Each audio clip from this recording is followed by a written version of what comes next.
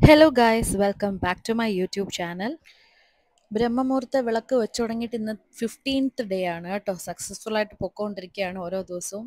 അപ്പോൾ ഞാൻ ഇന്ന് കുറച്ച് വിളക്ക് വെക്കുന്നതിന് മുന്നേ ഉള്ള ഒരുക്കങ്ങളും ക്ലീനിങ് പ്രോസസ്സൊക്കെയാണ് ഞാൻ ഈ വീഡിയോയിൽ ഇൻക്ലൂഡ് ചെയ്തിരിക്കുന്നത് കേട്ടോ. അപ്പോൾ ഇന്നത്തെ ഈ ഒരു വ്ളോഗ് അല്ലെങ്കിൽ ഇന്നത്തെ ദിവസം ഭയങ്കര സ്പെഷ്യൽ ആയിട്ടുള്ള ഒരു ഡേ ആണ് കേട്ടോ. എന്റെ ഒത്തിരി ഹാർഡ് വർക്കും ഒത്തിരി നാളത്തെ പ്ലാനിങ്ങും ഒക്കെ അതിന്റെ റിസൾട്ട് കാണാൻ പോകുന്ന ദിവസമാണ് ഇന്ന്.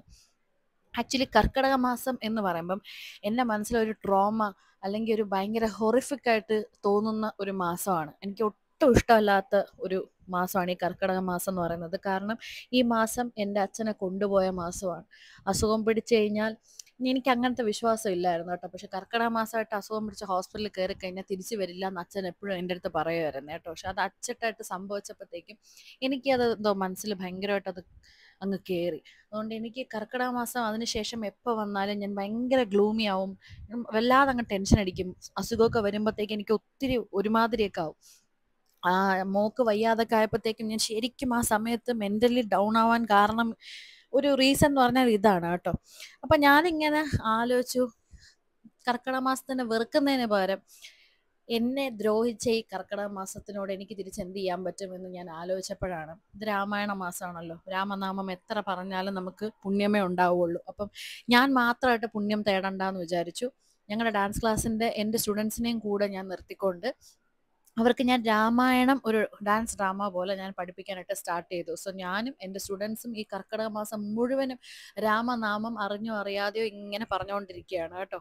ഓരോ ദിവസവും രാമന്റെ കഥകൾ ഇങ്ങനെ പറഞ്ഞുകൊണ്ടിരിക്കുന്നു എനിക്ക് തോന്നുന്നു അതിന്റെ നന്മകൾ അവർക്കും എന്തായാലും ഡെഫിനറ്റ്ലി ഉണ്ടാവും. അത് അവർ അനുഭവിച്ചറിയും എന്ന് ഞാൻ വിശ്വസിക്കുന്നു. എനിക്ക് പേഴ്സണലി ഒത്തിരി ബെനിഫിറ്റാണ് ഉണ്ടായിട്ടുള്ളത്. ഇത്രയും അധികം രാമായണം ഞാൻ റിഹേഴ്സൽ സമയത്തൊക്കെ ഞാനല്ലേ പാടുന്നത്? ഓരോ തവണ ഇങ്ങനെ പാടി പാടി പാടി പാടി പഠിപ്പിക്കുകയും കഥ പറഞ്ഞു കൊടുക്കുകയൊക്കെ ചെയ്യുമ്പോൾ എനിക്ക് ഇത്രയും നാൾ ഉണ്ടായിരുന്ന ഒരു ട്രൊമാറ്റിക് ആയിട്ടുള്ള ഒരു ഫീൽ എനിക്ക് മാറിക്കിട്ടി. ഇങ്ങനെ ഒത്തിരി ഹാപ്പി ആയിട്ടാണ് ഈ ഒരു കർക്കിടക മാസം മുന്നോട്ട് കൊണ്ടുപോയത്. എക്സെപ്റ്റ് ആ മോൾ ഹോസ്പിറ്റലൈസേഷൻ ആ ഒരു ഇത് മാറ്റിക്കഴിഞ്ഞാൽ ബാക്കി മുഴുവനും വളരെ ഹാപ്പി ആയിട്ടാണ് ഈ ഒരു കർക്കിടക മാസം മുന്നോട്ട് പോയത്.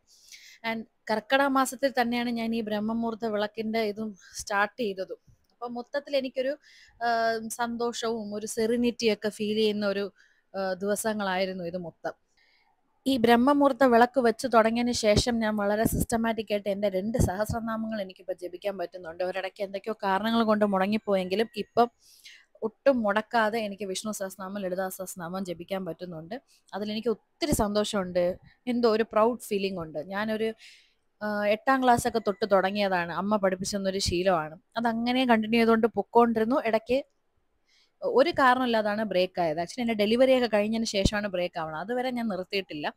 മേ ബി എനിക്ക് കൂടെ ജപിക്കാൻ ഒരു കമ്പനി ഇല്ലാത്തത് കൊണ്ടായിരിക്കണം അതങ്ങ് ബ്രേക്ക് ആയി പോയെന്ന് എനിക്കിപ്പോൾ തോന്നുന്നു. അതുകൊണ്ട് ഞാൻ വീഡിയോ പ്ലേ ചെയ്തിട്ട് അതിന്റെ കൂടെയാണ് ഇപ്പൊ പ്രാർത്ഥിക്കുന്നത്.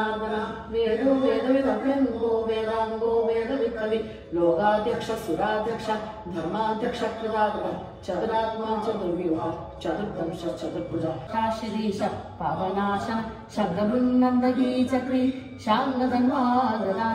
रथाङ्गवाणि रक्षोऽप्य सर्वप्रहरणायुध श्री सर्वप्रहरणायुधो चतुर्दंश चतुर्भुरीशी शाङ्खि मनसा अनाघलद सादृशीराजिदा कामेश गतमाङ्गल्यसूत्र शोभितगन्धर येयूर कमनीय भुजान्विद भुजान्विध रत्नद्रैवेयचिन्दागलोलमुक्ता बलान्विद കാമേശ്വര പ്രേമരത്നമണി രത്ന മണി ഞാൻ ഈ വീഡിയോസ് ഒക്കെ ഇട്ട് തുടങ്ങിയപ്പോഴത്തേക്കും പ്രാർത്ഥിക്കുമ്പോൾ വെറും നിലത്തിലിരിക്കല്ലേ എന്ന് കുറെ കമന്റ്സ് ഇങ്ങനെ ഉണ്ടായിരുന്നു. അപ്പൊ അത് പരിഗണിച്ച് ഞാനിപ്പം തിരയിലൊരു എത്ത പോലെ വെച്ചിട്ട് അതിലാണ് ഇപ്പൊ ഇരിക്കുന്നത്. അപ്പൊ അതിന്റെ യൂഷ്വൽ പ്രാർത്ഥനയും അതൊക്കെ കഴിഞ്ഞിട്ട് രാവിലെ തന്നെ ഈ കിളികളുടെയും പട്ടിക്കുട്ടികളുടെയും അങ്ങനെയുള്ള കാര്യങ്ങളൊക്കെ ചെയ്ത് തീർക്കും കേട്ടോ. അപ്പോൾ കൊള്ളാം. അവർക്കും അതൊരു രസമുണ്ട്. നമ്മൾ കുറച്ചും കൂടെ സിസ്റ്റമാറ്റിക് ആയതുപോലെ. ഇപ്പം കൃത്യം എല്ലാ ദിവസവും ഒരേ സമയം ഭക്ഷണമൊക്കെ വയ്ക്കുമ്പോൾ ആനിമൽസിനും കുറച്ചും കൂടി ഒരു റുട്ടീൻ ഫോം ആവുമല്ലോ. അപ്പോൾ ക്രിസ്മോ കുറച്ച് ദിവസമായിട്ട് ഹോസ്പിറ്റലിലായിരുന്നു അവൻ തിരിച്ചെത്തിയതേ ഉള്ളൂ. അതുകൊണ്ടാണ് അവനെ സെപ്പറേറ്റ് ചെയ്തിട്ടിരിക്കുന്നത് കേട്ടോ. അല്ലെങ്കിൽ അവർ രണ്ടും ഒരുമിച്ചാണ് ഇരിക്കുന്നത്. അപ്പോൾ ഈ ആക്ടിവിറ്റീസ് ഒക്കെ കഴിഞ്ഞിട്ട് ഞാൻ കുറച്ച് നേരം ഒന്ന് ഉറങ്ങിയായിരുന്നു. ഉറങ്ങി എഴുന്നേറ്റ ശേഷം തന്നെ അനുവിന്റെ മേക്കപ്പ് സ്റ്റാർട്ട് ചെയ്തിരുന്നു പ്രോഗ്രാം അല്ലേ? അപ്പോൾ ഞാനും അർജുൻ ചേട്ടനും കൂടിയാണ് അനുവിനെ മേക്കപ്പ് ചെയ്ത് റെഡിയാക്കിയത് അപ്പോൾ ഞങ്ങൾ എല്ലാവരും റെഡി ആയതിനു ശേഷം ഇറങ്ങുന്നതിന് മുന്നേ നമ്മുടെ ഇവിടുത്തെ മണിക്കുട്ടിയെ പ്രാർത്ഥിച്ച് അനുവിനും ആ, കുങ്കുമവും ഭസ്മവും ഒക്കെ തൊട്ട് കൊടുത്തു. കൊച്ചു തൊട്ട് കൊടുത്തു. ഞങ്ങൾ എല്ലാവരും പ്രാർത്ഥിച്ചുകൊണ്ട് വീട്ടിൽ നിന്ന് ഇറങ്ങി. ഒരു നെർവസ്നെസ്സോ എന്തൊക്കെയോ ഉണ്ടായിരുന്നു കേട്ടോ. കാരണം ഞാൻ ഫസ്റ്റ് ടൈമാണ് എന്റെ സ്റ്റുഡൻസിനെ ലൈവ് ഓർക്കസ്ട്ര വെച്ച് പെർഫോം ചെയ്യിപ്പിക്കുന്നത്. മറ്റത് live I mean recorded music വെച്ചിട്ടാണ് ഞാൻ എപ്പോഴും പെർഫോം ചെയ്യിപ്പിക്കാറുള്ളത്. അപ്പോൾ ലൈവ് ഓർക്കസ്ട്ര വരുമ്പോൾ ക്ലാഷസ് ഒന്നും ഉണ്ടാവരുത്. എല്ലാം നല്ല സിങ്ക് ആയിട്ടൊക്കെ പോകണം എന്നുള്ളൊരു കോൺഷ്യസ് ആയിട്ട് ഒരു ആങ്സൈറ്റി എന്റെ ഉള്ളിലുണ്ടായിരുന്നു. അത് പ്രോഗ്രാം കഴിയുന്നത് വരെയും ഉണ്ടായിരുന്നു കേട്ടോ. എനിക്ക് ആക്ച്വലി രണ്ട് റിഹേഴ്സൽസ് എടുത്തെങ്കിൽ കൂടി എനിക്ക് പേഴ്സണലി ഒരു കോൺഫിഡൻസ് എനിക്ക് വന്നിട്ടില്ലായിരുന്നു. കുട്ടികൾക്ക് കോൺഫിഡൻസ് ഒരു സെക്കൻഡ് റിഹേഴ്സൽ ഒക്കെ കഴിഞ്ഞപ്പോഴത്തേക്ക് അവർക്ക് കോൺഫിഡൻസ് ഉണ്ടായിരുന്നു. എനിക്കായിരുന്നു ഒരു ആങ്സൈറ്റി ഉള്ളത്. എനിവേ നമ്മൾ കുറേ സ്റ്റേജസ് അന്വേഷിച്ചു എങ്കിലും ഒരു ദൈവത്തിന്റെ അനുഗ്രഹം പോലെ ശരിക്കും ശ്രീരാമന്റെ ഒരു അനുഗ്രഹം പോലെ ഞങ്ങൾക്ക് കിട്ടിയ ഒരു സ്റ്റേജാണ് ഈ സായി ഗ്രാമം എന്ന് പറയുന്നത്. നമ്മുടെ ട്രിവാൻഡ്രത്ത് തോന്നയ്ക്കലിന് അവിടെയാണ് ഈ സായി ഗ്രാമം ലൊക്കേറ്റ് ചെയ്തിരിക്കുന്നത് കേട്ടോ. ഇതൊരു ശരിക്കും നിങ്ങൾ വിസിറ്റ് ചെയ്യേണ്ട ഒരു പ്ലേസ് ആണ്. നിങ്ങൾക്ക് എന്തെങ്കിലും ജീവിതത്തിൽ ഒത്തിരി സ്ട്രെസ്ഡ് ആയിട്ട് നിങ്ങൾ ഇരിക്കുകയാണ് ഒത്തിരി പ്രശ്നങ്ങളുടെ ഇടയിൽ ഇരിക്കുകയാണെന്നുണ്ടെങ്കിൽ ഒരു ദിവസം നിങ്ങളൊന്ന് മാറ്റി വെച്ച് ഈ സായി ഗ്രാമം ഒന്ന് വിസിറ്റ് ചെയ്ത് നോക്കൂ. സത്യമായിട്ടും നമ്മൾ ഞാൻ എന്റെ അനുഭവം കൊണ്ട് പറയണം കേട്ടോ. അവിടെ ചെന്ന് കയറി കഴിഞ്ഞാൽ ഈ പറഞ്ഞ ഇപ്പൊ ഞാൻ ടെൻഷൻ അടിച്ച് കയറിപ്പോയില്ലേ അതുപോലും എന്റെ മനസ്സിൽ നിന്ന് പോയി. ഞാൻ കംപ്ലീറ്റ്ലി റിലാക്സ്ഡ് ആയി. വളരെ പീസ്ഫുൾ ആയി. ഒരു കംപ്ലീറ്റ്ലി പോസിറ്റീവ് ഒരു ഓറ മാത്രം നമ്മുടെ ചുറ്റും നിൽക്കുന്നതായിട്ട് നമുക്ക് ഫീൽ ചെയ്യും. സോ വിനീത മാമിനും ആനന്ദ് സാറിനും എത്ര നന്ദി പറഞ്ഞാലും മതിയാവില്ല. ഇവർ രണ്ടുപേരും ഉള്ളത് കൊണ്ടാണ് നമുക്ക് ഈ സായി ഗ്രാമം എന്ന് പറഞ്ഞൊരു വെന്യൂ ഈ ഒരു പെർഫോമൻസിനായിട്ട് കിട്ടിയത്. And എനിക്ക് തോന്നുന്നു ഇങ്ങനെ കടൽ പോലെ കിടക്കുന്ന ഒരു സ്റ്റേജ് വേറെ എവിടെയും ഇല്ല കേട്ടോ. അത്രയ്ക്ക് സ്പേഷ്യസ് അതായത് ടോട്ടൽ ട്വന്റി ടു സ്റ്റുഡൻസ് എങ്ങാണ്ടാണ് പെർഫോം ചെയ്തത്. ഇനി എനിക്ക് തോന്നുന്നു ഒരു മുപ്പത് നാൽപ്പത് സ്റ്റുഡൻസ് നിന്നാൽ കൂടി നമ്മുടെ സ്റ്റേജ് ഫിൽ ആവത്തില്ല? ഇനിയും ബാക്കി സ്ഥലം കാണും. അത്രയ്ക്കും കടൽ പോലെ കിടക്കുന്ന ഒരു സ്റ്റേജ് ആണ് കേട്ടോ അത്. ആസ് എ ഡാൻസർ എനിക്ക് ഓരോ നിമിഷം തോന്നിക്കൊണ്ടിരുന്നു. എന്റെ സ്റ്റുഡൻസ് എന്തുമാത്രം ലക്കി ആൻഡ് ബ്ലെസ്ഡ് ആണ് അവർക്ക് ഇങ്ങനെ ഒരു സ്റ്റേജ് കിട്ടിയത് പെർഫോം ചെയ്യാൻ എന്നുള്ളത്. എനിക്കൊക്കെ ഞാൻ എന്റെ ഡാൻസിങ് ഒരു ജേർണി സ്റ്റാർട്ട് ചെയ്തതിന് എത്രയോ വർഷത്തിന് ശേഷമാണ് എനിക്ക് ഈ സായി ഗ്രാമത്തിന്റെ സ്റ്റേജിൽ ഒന്ന് പെർഫോം ചെയ്യാൻ പറ്റിയത്. ഞാനും അമ്മയും കൂടിയാണ് പെർഫോം ചെയ്തത് അന്ന് അമ്മൂമ്മയാണ് പ്രോഗ്രാം ചെയ്യാൻ പറഞ്ഞത്. അപ്പൊ അങ്ങനെ നോക്കുമ്പോൾ ഈ സ്റ്റുഡൻസ് ഒക്കെ ഈ ഒരു ചുരുങ്ങിയ കാലയളവിലാണ് അവർ ഈ ഒരു സ്റ്റേജിൽ പെർഫോം ചെയ്യുന്നത് എന്ന് ആലോചിക്കുമ്പോഴത്തേക്കും ശരിക്കും ദൈവത്തിന്റെ അനുഗ്രഹമുണ്ട്. അവർ അത്ര എത്രമാത്രം ലക്കി ആണെന്നുള്ളതും കൂടിയാണ് ഞാൻ മനസ്സിലാക്കിയത്. അപ്പോൾ നമ്മുടെ സ്റ്റുഡൻസ് എല്ലാവരും എത്തി ഓൾമോസ്റ്റ് എല്ലാവരും റെഡിയാണ് ഞങ്ങൾ അവിടെ എത്തിയതിന് ശേഷം ഒരു ചെറിയ പ്രെയർ ഒക്കെ കഴിഞ്ഞിട്ട് നമ്മൾ ഓൾമോസ്റ്റ് പെർഫോമൻസ് സ്റ്റാർട്ട് ചെയ്യാറായി. ഞാൻ ഒരു നിങ്ങൾക്കും കൂടി മനസ്സിലാവാനായിട്ട് ഫുൾ പെർഫോമൻസിന്റെ വീഡിയോ ഞാൻ ഇട്ടിട്ടില്ല. കാരണം എനിക്ക് അങ്ങനെ ആരും ഷൂട്ട് ചെയ്തിട്ടില്ലായിരുന്നു. സോ അവിടെ നിന്ന് ഇവിടെ നിന്ന് കുറച്ച് ഗ്ലിംസസ് എടുത്തിട്ടുണ്ട്. അത് വെച്ചിട്ട് ചില സീൻസ് ഒക്കെ ഞാൻ നിങ്ങൾക്ക് എക്സ്പ്ലെയിൻ ചെയ്തു തരാം ജസ്റ്റ് കാണുമ്പോൾ നിങ്ങൾക്ക് മനസ്സിലാവാനായിട്ട് കേട്ടോ. അപ്പോൾ ഞാൻ എന്റെ ലൈവ് ഓർക്കസ്ട്രയെ പറ്റി പറഞ്ഞോട്ടെ. നമുക്ക് ഓർക്കസ്ട്രയിലേക്ക് പാടാനായിട്ട് എത്തിയത് പുള്ളി ഒരു ഡാൻസറും കൂടിയാണ് കേട്ടോ. അഭിരാം എന്നാണ് അദ്ദേഹത്തിന്റെ പേര്. അദ്ദേഹം ഒരു ഡാൻസറാണ് ഒരു എക്സ്ട്രീംലി ടാലന്റഡ് സിംഗറാണ് അദ്ദേഹമാണ് നമുക്ക് വോക്കലിസ്റ്റ് ആയിട്ട് നമുക്ക് കിട്ടിയ ഒരു ഭാഗ്യമാണ് അദ്ദേഹത്തിന് നമ്മുടെ ഒരു പ്രോഗ്രാമിന് കിട്ടിയത്. പിന്നെ മൃദംഗിസ്റ്റ് സൗരവ് എന്ന് പറയുന്ന ഒരു കുട്ടിയാണ്. എനിക്ക് തോന്നുന്നു നമ്മൾ നല്ല ഒരു സിങ്ക് ഉണ്ടായിരുന്നു. മൃദംഗം വോക്കൽ വയലിൻ ഒക്കെ കൂടി ഒരു നല്ലൊരു സിങ്ക് ഉണ്ടായിരുന്നു.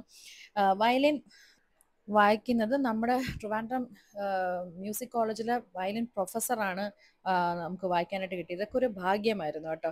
ആൻഡ് എടുത്തു പറയേണ്ടത് ഈ ലൈവ് ഓർക്കസ്ട്രയിൽ ഓരോരുത്തരും നമ്മുടെ സ്റ്റുഡൻസിനോട് വളരെ സപ്പോർട്ടീവായിട്ടാണ് നിന്നത്. യൂഷ്വലി ഒരു ഓർക്കസ്ട്ര ടീം വന്ന് ഒരു മസിൽ പിടുത്തമോ അല്ലെങ്കിൽ ഭയങ്കര കുട്ടികളൊക്കെ ടെററാക്കി നിർത്തുന്ന പോലത്തെ ഒരു ആറ്റിറ്റ്യൂഡ് ഒന്നും അല്ലായിരുന്നു.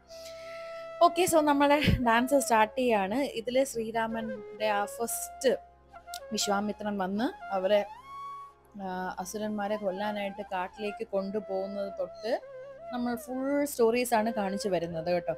അപ്പോൾ ഇപ്പോൾ ആദ്യം ഇൻട്രോ ആണ് നടക്കുന്നത്. ഈ ഇൻട്രോ കഴിഞ്ഞിട്ട് നെക്സ്റ്റ് സീന് ദശരഥനും വിശ്വാമിത്രനും കൂടെയുള്ള ഒരു കോൺവെർസേഷൻ ആണ്. ആദ്യം ദശരഥന് മക്കളെ വിട്ടയക്കാനൊരു ബുദ്ധിമുട്ട് പിന്നീട് അവരുടെ നന്മയ്ക്കും കൂടി ആലോചിച്ചിട്ട് വിശ്വാമിത്രന്റെ കൂടെ മക്കളെ പറഞ്ഞയക്കുന്നു. അങ്ങനെ വിശ്വാമിത്രനുമായിട്ട് കാട്ടിലേക്ക് എത്തിയതിന് ശേഷം രാമനും ലക്ഷ്മണനും കൂടി അവിടെയുള്ള അസുരന്മാരെ നിഗ്രഹിക്കുകയും അവർക്ക് അതിന്റെ ഫലമായിട്ട് അവർക്ക് കുറെ ആയുധങ്ങളും വസ്ത്രങ്ങളും ഒക്കെ കിട്ടുന്നു. അത് മേടിച്ച ശേഷം തിരിച്ചു പോകുന്ന വഴിക്കാണ് അഹല്യ മോക്ഷം ചെയ്യുന്നത്. ആ ഒരു അഹല്യ മോക്ഷത്തിന്റെ സീൻ നമ്മളിവിടെ ഡാൻസിൽ കാണിക്കുന്നുണ്ടായിരുന്നു. അവിടെ നിന്ന് നേരെ സീതാ സ്വയംവരമാണ്. ഓരോരോ രാജ്യത്തു നിന്ന് രാജാക്കന്മാര് വന്ന് വില്ല് കുലയ്ക്കാൻ ശ്രമിക്കുന്നത് അവരെ കൊണ്ട് സാധിക്കുന്നില്ല. അങ്ങനെ ശ്രീരാമൻ വരുന്നു വില്ല് കുലയ്ക്കുന്നു സീതയെ വിവാഹം ചെയ്യുന്നു. അങ്ങനെ അതൊരു ബ്യൂട്ടിഫുൾ ആയിട്ട് ഓരോ സ്റ്റുഡൻസും അവർക്ക് കൊടുത്തിരുന്ന പാട്ട് വളരെ നന്നായിട്ട് ചെയ്തു കേട്ടോ. ആസ് എ ടീച്ചർ ഞാൻ ഭയങ്കര സാറ്റിസ്ഫൈഡ് ആയിരുന്നു അവരുടെ പെർഫോമൻസിൽ അങ്ങനെ ഈ സീതാ സ്വയംവരം ഒക്കെ കഴിഞ്ഞ് കഴിഞ്ഞാൽ പിന്നെ ഏറ്റവും ഇമ്പോർട്ടന്റ് ആയിട്ടുള്ള ഒരു പാർട്ടാണ് രാമായണത്തിലെ ആ ഒരു ട്വിസ്റ്റ് നടക്കുന്ന ഒരു സംഭവമാണ്. കൈകേയി വന്ന് ദശരഥനോട് ശ്രീരാമനെ പട്ടാഭിഷേകം ചെയ്യാൻ പറ്റില്ല എന്ന് പറയുന്നത്. ഇതിന് ഈ ഒരു ഐഡിയ കൈകേയിക്ക് കൊടുക്കുന്നത് മന്ദരയാണ്. അപ്പം മന്ദരയും കൈകേയും തമ്മിലുള്ള കോൺവെർസേഷനിലാണ് ആ ഒരു സീൻ സ്റ്റാർട്ട് ചെയ്യുന്നത്. കൈകേയിക്ക് മുമ്പ് ദശരഥന്റെ കയ്യിൽ നിന്ന് രണ്ട് വരം കിട്ടിയിട്ടുണ്ടായിരുന്നു. അപ്പൊ അത് മന്ദരയാണ് പറഞ്ഞു കൊടുക്കുന്നത്. അത് ഇപ്പൊ ഉപയോഗിക്കുക ആ രണ്ട് വരത്തിൽ ഒന്ന് രാമനെ പട്ടാഭിഷേകം ചെയ്യാൻ പറ്റില്ല എന്നും രണ്ട് രാമനെ പതിനാല് വർഷം കാട്ടിലേക്ക് അയക്കണമെന്നും പറഞ്ഞു കൊടുത്ത പ്രകാരം കൈകേയി ചെന്ന് ദശരഥനോട് ബഹളം വെച്ച് ആ ഒരു രണ്ട് വരം നേടിയെടുക്കുന്ന ഒരു സീനുണ്ട്. അത് കഴിഞ്ഞിട്ട് ശ്രീരാമനോട് കൈകേയി തന്നെ അവതരിപ്പിക്കുന്നു ഇങ്ങനെ പോണം എന്നുള്ളത്. ശ്രീരാമൻ വളരെ സന്തോഷത്തോടെയും ബഹുമാനത്തോടും കൂടി അത് അക്സെപ്റ്റ് ചെയ്തുകൊണ്ട് അവിടെ നിന്ന് പോകുന്ന വഴിയെ ലക്ഷ്മണനും സീതയും കൂടി ജോയിൻ ചെയ്യുന്നു.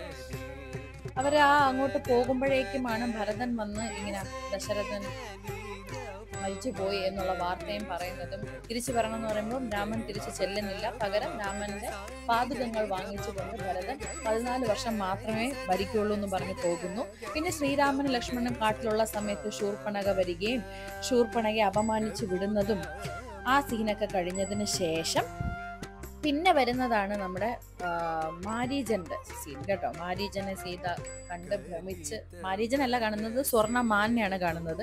അങ്ങനെ അതിനെ പിടിക്കാനായിട്ട് ശ്രീരാമൻ പുറകെ പോകുന്നു. മാരീജനാണെന്ന് മനസ്സിലാക്കി അമ്പെയ്യുമ്പോൾ മാരീജൻ ശ്രീരാമന്റെ ശബ്ദത്തിൽ ഹെൽപ്പിനായിട്ട് കരയുകയൊക്കെ ചെയ്യുന്നു. ആ ഒരു സമയത്ത് ലക്ഷ്മണൻ ലക്ഷ്മണരേഖ വരച്ചിട്ട് പോകുമ്പോൾ രാവണൻ വരുന്നു. ആഹാരം ചോദിക്കുന്നു. വിശന്നു വന്ന ആൾക്ക് ആഹാരം തന്നില്ലെങ്കിൽ ശപിക്കുമെന്ന് പറഞ്ഞ് ശ്രീ സീതയെ ലക്ഷ്മണരേഖയ്ക്ക് പുറത്ത് വരുത്തിച്ച് തട്ടിക്കൊണ്ടുപോകുന്നു. അതിനുശേഷം ജഡായുവെ ചിറക് വെട്ടിക്കളയുന്നു. സീതയെ രക്ഷിക്കാൻ വേണ്ടി വരുന്നതാണ്. അത് കഴിഞ്ഞ് ഹനുമാൻ എന്റർ ചെയ്യുന്നു ഹനുമാൻ എല്ലാവിധ സഹായവും ശ്രീരാമനും ലക്ഷ്മണനും ചെയ്യുന്നതായിരിക്കും എന്ന് പറയുന്നു. അതിന്റെ കൂടെ തന്നെ നമ്മുടെ വാനര പടം മുഴുവനും ശ്രീരാമന് സഹായമായിട്ട് ജോയിൻ ചെയ്യുന്നു. അതിനുശേഷം അശോകവനത്തിൽ സീതയെ പോയി ഹനുമാൻ കാണുന്നു മോതിരം കൊടുക്കുന്നു പകരം ചൂടാമണി വാങ്ങിച്ചു കൊണ്ടുപോകുന്നു ഇതെല്ലാം കഴിഞ്ഞ് വാനരപ്പടകൾ ചേർന്ന് സേതുബന്ധനം ഉണ്ടാക്കിയെടുക്കുന്നു. അതെല്ലാം കഴിഞ്ഞതിന് ശേഷം ശ്രീരാമനും ലക്ഷ്മണനും ഹനുമാനും വാനരപ്പടയും കൂടെ ചേർന്നുകൊണ്ട് ലങ്കയിലേക്കുള്ള യാത്ര. ആ യാത്രയുടെ അവിടെ രാവണനെ കാണുന്നു. രാവണനുമായിട്ടുള്ള യുദ്ധവും.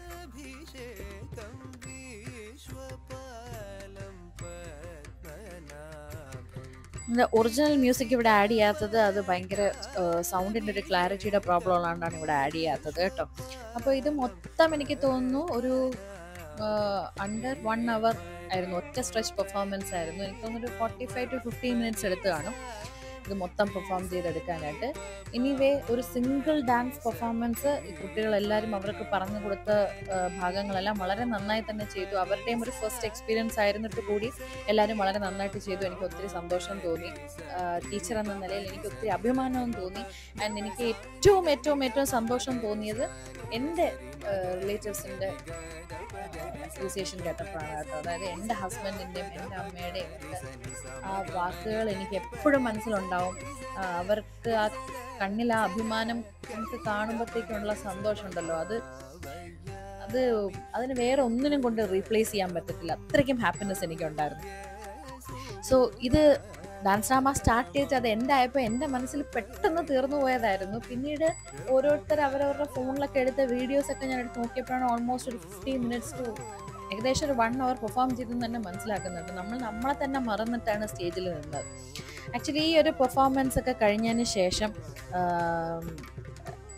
ഈ നമ്മളെ പാട്ട് പാടുന്നില്ലേ?